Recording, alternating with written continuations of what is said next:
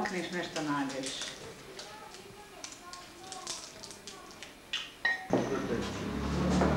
Nije što tek se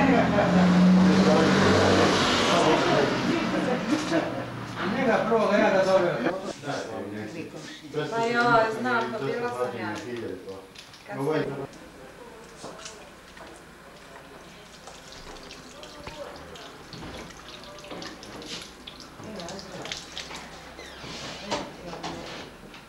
Kad sam- To je za nas. Pustite, pustite, ovdje. Ne, tu. Trebala sam ja biti pacijent, pa svoj fini zubni nis pokazati. Samo ćemo njega poslati.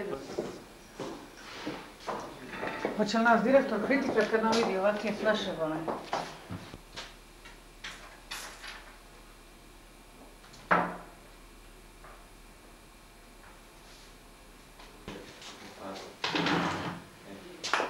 Šta je te gospođe?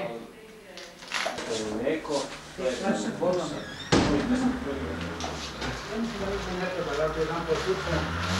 To sada da se mogu zubi vati, jeli, opet zubi.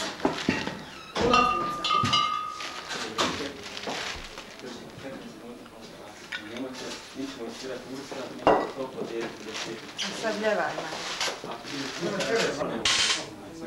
A pusti s. Smijete ako imate cigare, kako da ne. E pa to fino, odmah. Drugi ova- put poneste umjesto vode.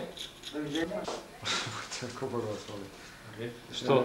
A to je sad normalno ovdje, to je normalna situacija. Nost vodu. Oni, A nije normalno, ali je takva situacija da se mora. Zašto? ali mogu izvati zub samo.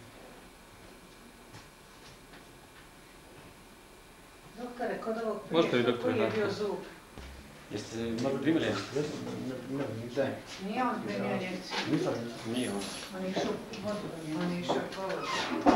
A je ne, neko još primio injekciju? Ima još jedna Ima, ima. injekcija. Ima onda ovo drugo.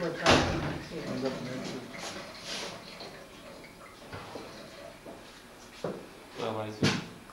Boli?